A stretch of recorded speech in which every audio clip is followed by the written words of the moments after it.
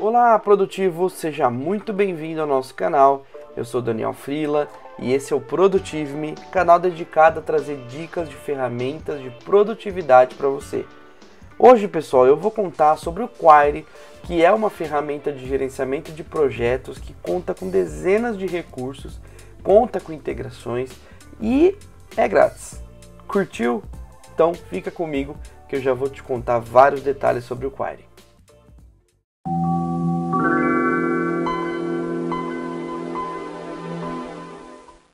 Então, produtivo, uma das primeiras coisas que eu gosto de fazer é entrar no site da ferramenta, é, passar, dar uma olhada, entender qual que é o posicionamento dela. E aqui já de cara é possível ver que o Query está totalmente em português, o que eu achei bem legal, apesar de não ser uma ferramenta brasileira, tá? É uma ferramenta é, americana, mas aqui a gente já pode ver um pouco do que são os recursos e pode entender também que ele tem os aplicativos aí para iOS e para Android, bem legal, só passar mesmo para a gente conferir que já é de praxe aqui no nosso canal.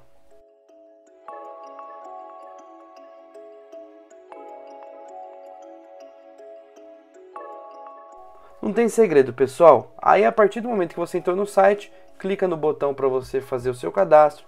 Pode fazer com e-mail, com Google, com conta Apple. Eu fiz aqui com meu Gmail mesmo. E aí clicou, ele já vai fazer o cadastro automaticamente para você e você já vai ter sua conta, beleza?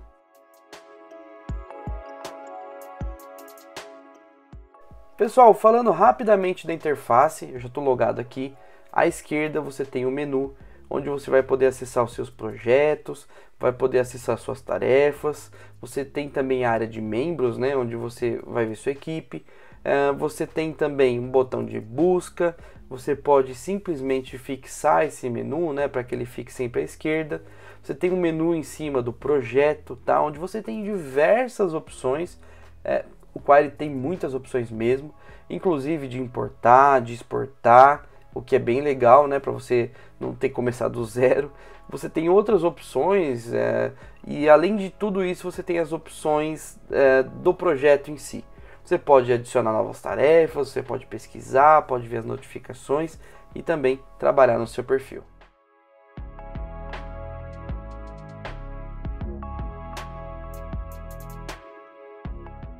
Então, produtivos, vamos conversar sobre as tarefas. Vou adicionar uma tarefa aqui de teste então, tarefa de teste.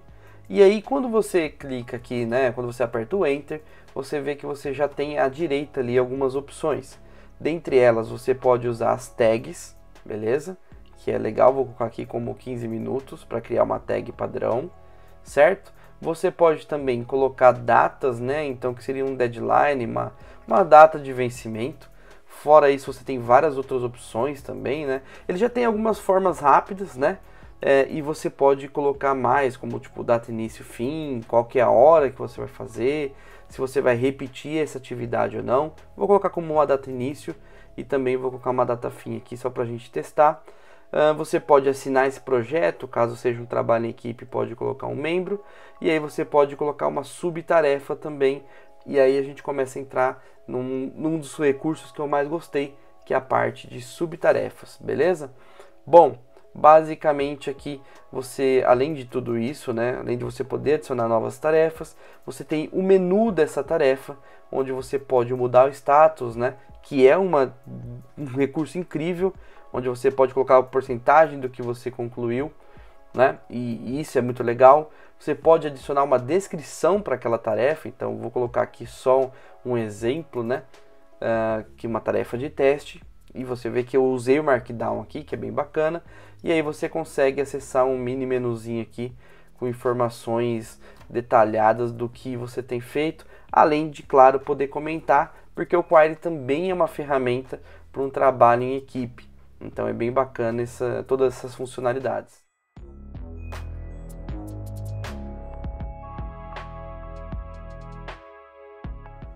Uma das coisas que eu mais gosto, pessoal, que eu, eu considero como obrigatório em qualquer ferramenta, é o modo escuro. E aqui eu vou te mostrar que você tem o modo claro e o modo escuro também, que para mim faz todo sentido hoje em dia.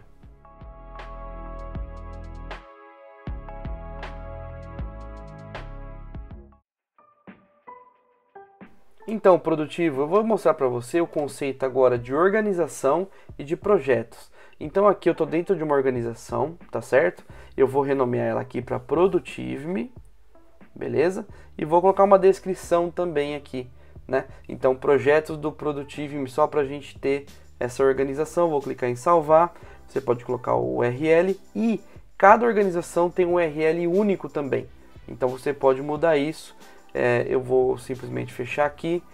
O nome não ficou alterado da minha organização, porque você tem que clicar, né? Sempre que você fizer uma alteração, cada alteração você tem que clicar em salvar, tá certo? Então agora ficou certinho. E além da organização em si, dentro né, da organização, você tem projetos. Agora eu vou configurar aqui o meu projeto. Vamos lá, vamos mudar aqui para conteúdos. Então eu tenho um projeto que é o conteúdos. Da mesma forma você pode modificar o URL único dele e aí você pode salvar também e manter isso mais organizado. Dentro, pessoal, de, de uma lista, né, de um projeto, melhor dizendo, ou mesmo de uma organização, aqui você vê a diferença, você pode ter a visão geral. Então, aqui eu vou ter essas informações de quantos projetos eu tenho, quantos estão em progresso, é, quantos eu tenho para fazer. E aí, conforme a sua equipe ou você vai avançando, esses gráficos vão mudando. Então, é bem legal. Você tem como se fosse um dashboard de controle para esse, esse projeto.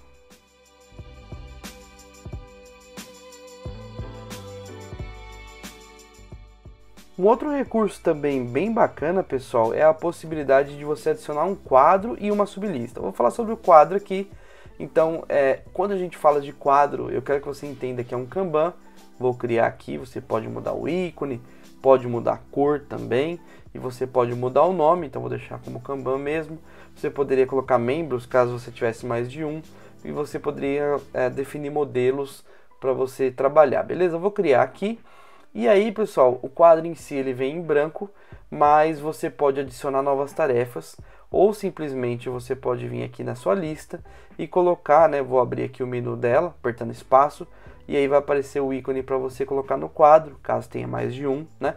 Nesse caso só tem um, e quando você faz isso, ele passa a aparecer no seu quadro como uma tarefa, e aí você pode navegar com ele entre as etapas. Inclusive, eu acho que vale a pena a gente adicionar um aqui de teste. Você pode só clicar aqui para criar. Vou colocar aqui uh, como tarefa de teste 2, certo? É a mesma estrutura. Se você apertar o espaço, ele vai abrir o menu aqui. E aí você pode fazer, né? inclusive mudar a prioridade, que é uma coisa que eu não mostrei. Você pode favoritar e você pode fazer as mesmas especificações que você fez na outra tarefa, colocando datas. E ele funciona da mesma forma, na mesma estrutura.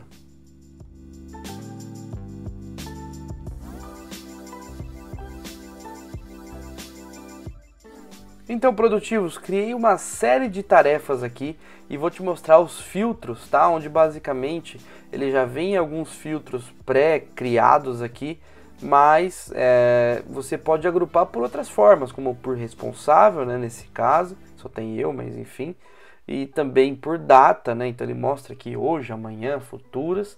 E você pode criar suas próprias personalizações de filtro, tá?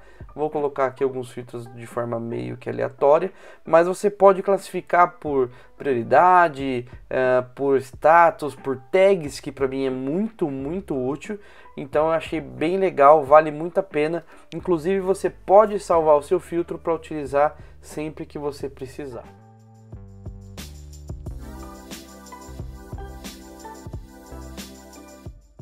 Outro recurso também bem interessante é o Picaboo. Você pode acessar através do seu menu, tá? E aí você tem essa opção do Picaboo. Você seleciona o intervalo de dias e basicamente aquela tarefa que você selecionar, ela vai sumir.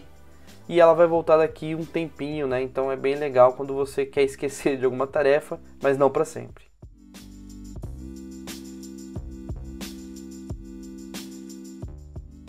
Outra coisa interessante também, pessoal, e que eu achei muito legal é que uh, para quem usa o Gmail, né, você tem um pluginzinho do, do Query onde você pode adicionar no seu Gmail e aí você pode transformar um e-mail, né, em uma atividade, em uma tarefa dentro do seu dentro do seu Query. Achei bem bacana isso.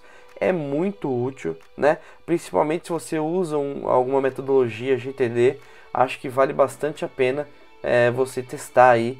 Se você usa o Gmail e o GTD, aí fica perfeito.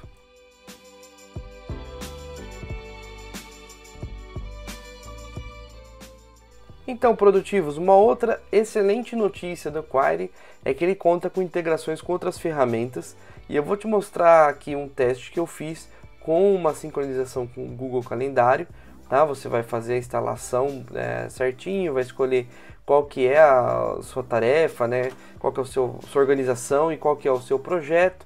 Você vai criar um link único ali e aí você vai fazer essa sincronização com o seu Google Calendário, né, como uma agenda externa e na verdade isso vai ficar sincronizado, é bem legal a visualização. Você vai ver todas as suas tarefas, vai colocar data início, data fim e tudo isso vai ser feito pelo Quire e aparecer no seu Google Calendário. Bem legal, curti bastante e eu acho que é, uma, é um recurso que falta em muitas ferramentas.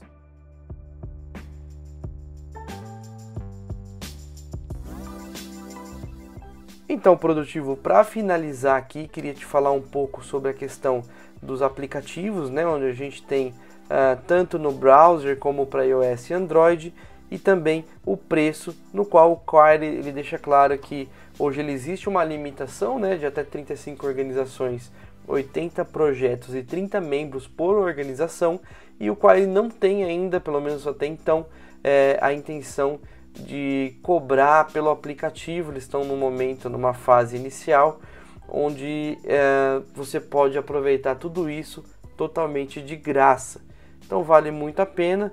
É, pessoal, eu mudei um pouco o formato aqui, deixei um pouco mais rápido, tá? Então eu gostaria muito que vocês deixassem o feedback, se esse formato for melhor, se vocês preferem o formato onde eu vou falando e acompanhando. É muito importante para mim saber o que, que vocês acharam, beleza?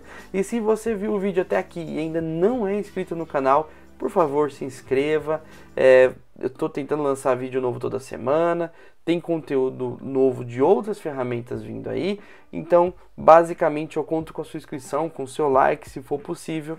E é isso. Muito obrigado por ter ficado até aqui e até o próximo vídeo.